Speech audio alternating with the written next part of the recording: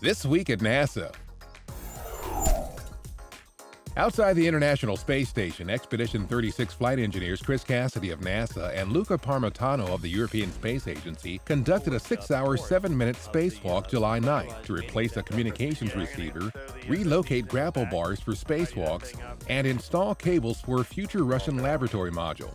The spacewalk was the fifth for Cassidy and the first for Parmitano, who became the first Italian astronaut to walk in space. NASA's Mars Curiosity rover has departed its last science target in the Glenelg area and begun a many-month journey to the base of Mount Sharp, the mission's main destination.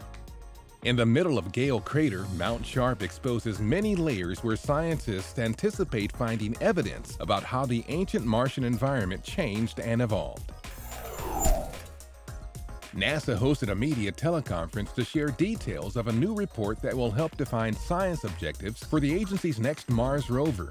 Prepared by the NASA-appointed Mars 2020 Science Definition Team, the report is an early crucial step in developing the mission and the rover's prime science objectives. It really fits well within um, our approach, our science strategy for Mars of seeking the signs of life.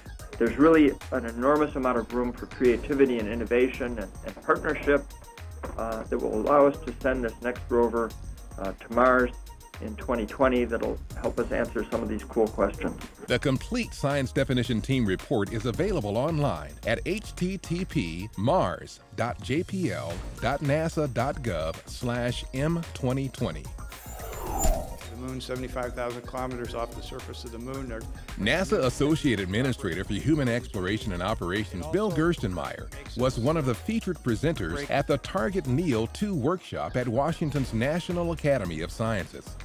Discussion at the event focused on the technical challenges and new capabilities needed for successful robotic and human exploration of asteroids and other near-Earth objects, including NASA's newly proposed initiative to capture and redirect an asteroid for human study.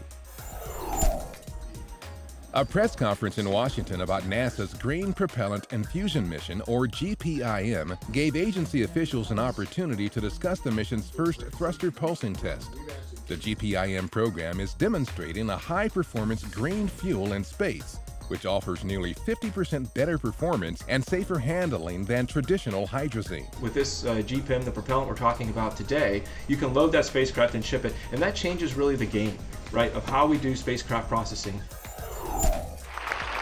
NASA Administrator Charlie Bolden joined Goddard Space Flight Center Director Chris Scalise for a town hall meeting with employees in the Building 8 Auditorium, where Bolden praised the Goddard community for ongoing contributions to the agency's groundbreaking scientific achievements. It's hard to find somebody who can compete with what you do, and that's because of the incredible amount of work that you do in earth science. I love the term, we take the impossible and make it possible, or we turn science fiction into science fact and we do that every single day. The event was also seen by employees at Wallops and other Goddard facilities via video teleconference.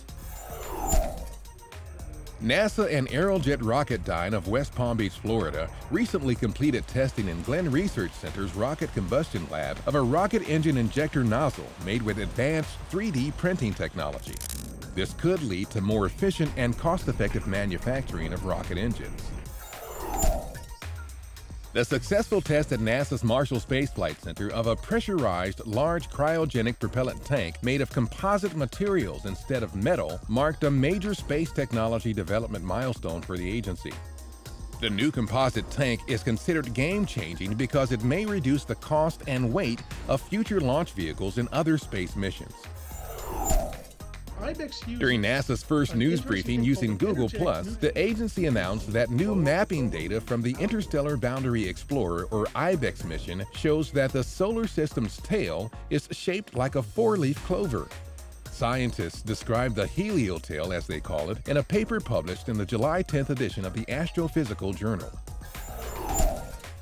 On July 15, 2011 Pacific Daylight Time, after nearly four years of travel through the solar system, NASA's Dawn spacecraft was gently captured in orbit by the asteroid Vesta, making Dawn the first spacecraft to orbit a main belt asteroid in the region between Mars and Jupiter. It spent more than 13 months examining the giant protoplanet with all of its sensors before leaving in September 2012. Dawn is now headed for the dwarf planet Ceres, the largest body between the Sun and Neptune not yet visited by a spacecraft.